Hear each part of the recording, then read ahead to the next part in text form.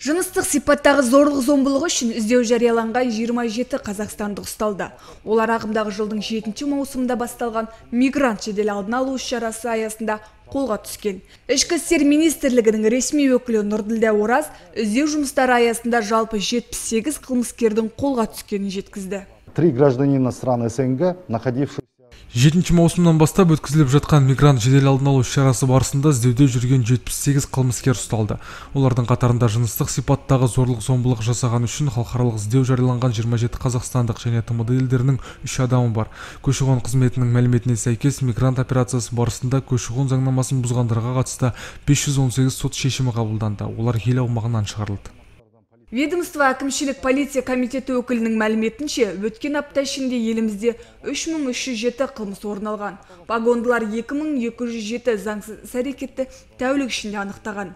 Атап айтқанда кісі өлтірудің 11 денсаулыққа қасақана ауыр зиян келтірудің 6 фактісі тонау қылмыстың 35 дерегі және бөтеннің мүлкін ұрлаудың 511 әрекетінің ізі суымай ашылды. Айта кетейік қызметтік қарулар мен азаматтарға тиесілі суық қаруларды қолдану ережелері қатаңдатылды.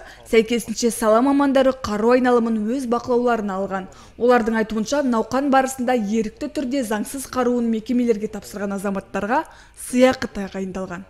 Ерікті түрде тапсырылған заттар үшін төлем сомасы олардың техникалық жағдайына байланысты және әр бірлігі үшін 30 мыңнан 300 мыңға жуық сыйақы көлемі әр полиция органдарында құралған.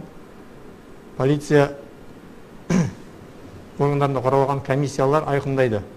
Мысалы айтқанда егер азамат ойы қоңғылы автоматты түрде бір бірлік қару тапсырған жағдайда оған 100 айлық есептік көрсеткішке дейін сыйақы төленуі мүмкін. Ол 300 мың теңгеге қару жарақ сатып алу акциясы ел бойынша 20 сәуірде басталған. Бұл мақсатқа республикалық бюджеттен 95 миллион теңге қаражат бөлініпті. Полиция органдарына күні бүгінге дейін азаматтар жалпы сомасы 91 миллион теңгені құрайтын 1381 бірлік атыс қаруын 57292 дана иір ойықты мылтыққа арналған оқ 11 жарылғыш құрылғы және 15 килограмм жарылғыш затты ерікті түрде тапсырып үлгерген.